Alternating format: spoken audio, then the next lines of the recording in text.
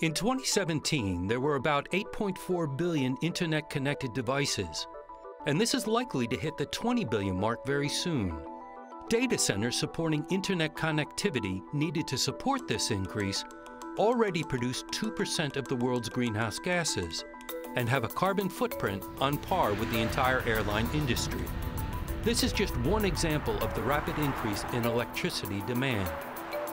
But with technological advances in power electronics, we can curb this trend. Power electronics control the flow of electricity through a circuit, from generation, transmission to usage, and could reduce global energy use and greenhouse gas emissions. Semiconductors are very important, in fact, extremely important for our modern life because they are everywhere we are, because they are every, everywhere we go, and they help us do things that help us to live a better life, a healthier life, a more enjoyable life. They already can handle a lot of voltage and a lot of current, therefore a lot of power. We use many power semiconductors to build products to process power efficiently in applications like electric trains, wind farms, solar farms, and the like. For many, semiconductors are thought of in terms of size or by function to process data in electronic devices such as mobile phones, computers, game machines, and so on. However, this is only one aspect of semiconductors. If we think about the holistic process, they have a much larger role to play in society.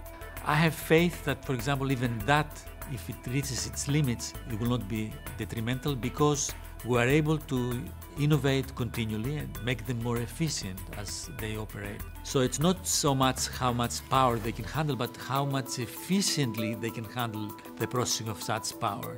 By making them more efficient, we can use the same space and the same weight to deliver products that can do a lot more with less energy waste. Power semiconductor companies are researching ways to make this level of energy conservation possible. Take the holistic approach of companies like Toshiba, whose approach to power electronics is to cover the entire gamut of electrical production.